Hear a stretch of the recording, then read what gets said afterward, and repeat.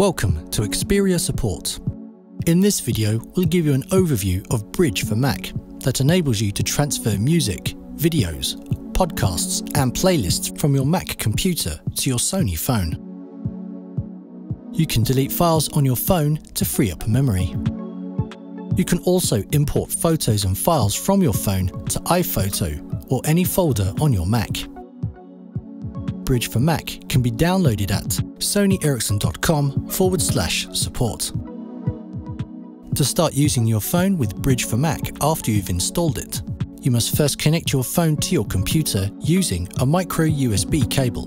When your phone is connected, you can easily transfer your photos, music, audiobooks and videos to and from your computer.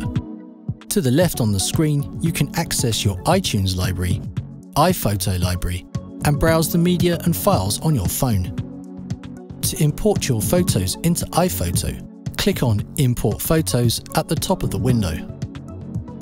Choose the photos you want to import and click Import Selected or click Import All.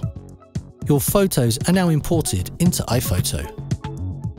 If you don't use iPhoto, you can add any folder to Bridge for Mac.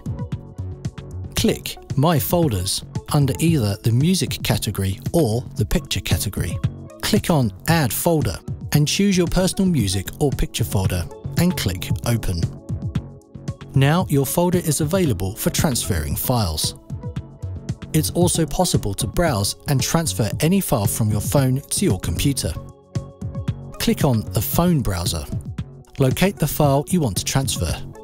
In this example, we will transfer a picture so we browse to the folder where the pictures are located. Now just drag and drop the picture to the desktop or the folder you want to put it in. Thank you for taking the time to view this tutorial. We hope that you will enjoy using Bridge for Mac to keep your mobile life in sync.